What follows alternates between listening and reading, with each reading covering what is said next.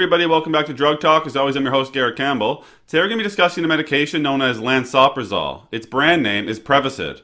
Now, before I talk about the medication itself, just keep in mind that this channel is for information purposes only and not to be used as a source for recommendations for your personal health care. So lansoprazole is a gastric acid pump or proton pump inhibitor. It blocks the final step of gastric acid production. In terms of indications for use, lansoprazole is indicated to be used in the treatment of gastroesophageal reflux disease, or GERD. It can be used in erosive esophagitis, as well as Zollinger-Ellison syndrome. It can also be used to treat a duodenal ulcer, as well as a gastric ulcer. Now, before somebody was to use lansoprazole, there is a contraindication that they must clear, which in this case would just be a hypersensitivity to lansoprazole or any other component of the product, and there's also some precautions and warnings that they should be made aware of.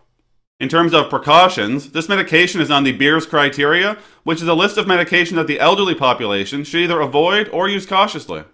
We would want to avoid using this medication for longer periods than eight weeks in the elderly population due to the increased risk of Clostridium difficile, bone loss, and potential fractures. However, there are some indications that would warrant long term use in this population. Hypomagnesemia or low magnesium may occur in patients using this medication for durations longer than three months. So, monitoring may be recommended in individuals using this medication that are using other medications that also cause a decrease in magnesium. There's an increased risk of Clostridium difficile associated diarrhea in patients using proton pump inhibitors, particularly in patients that are hospitalized.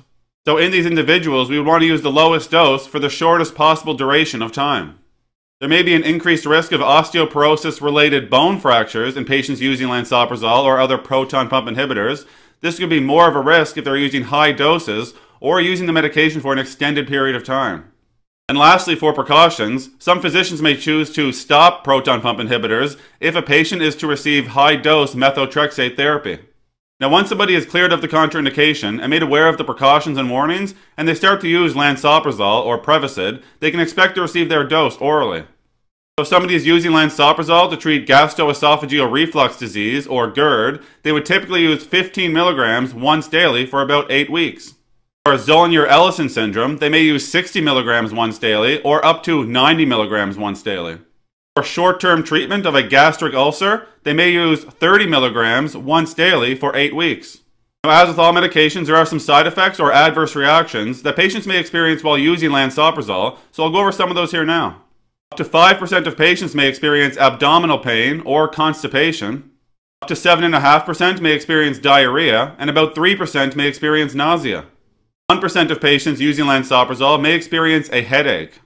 Now, some more rare but serious side effects would be hypomagnesemia or low magnesium, Clostridium difficile associated diarrhea, bone fractures, or rhabdomyolysis. That's all we're going to talk about today with lansoprazole or Prevacid. As always, I'm very thankful you took the time to come by and watch one of my videos. If you found the information valuable and you'd like to help grow this channel, you can like the videos, share the videos, or most importantly, subscribe to the YouTube channel. There's also some links in the description you can check out as well. That's it for today. Take care.